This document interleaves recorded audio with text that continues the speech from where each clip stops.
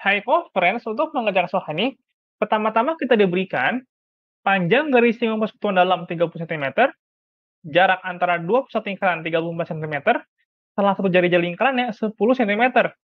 Maka di sini kita perlu mencari tahu dulu jari-jari lingkaran yang satunya lagi.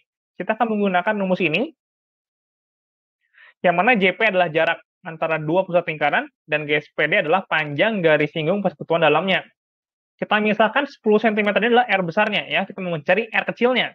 Maka kita punya 10 ditambah R kecil, sama dengan akar dari JP kuadrat, 34 kuadrat, dikurang GSPD kuadrat, 30 kuadrat kita punya 10 ditambah R sama dengan akar 34 kuadrat adalah 1156 dikurang 30 kuadrat adalah 900.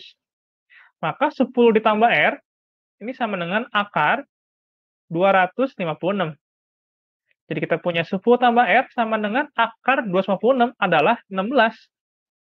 Sehingga kita peroleh bahwa R-nya adalah 16 dikurang 10, yaitu 6, satuannya cm.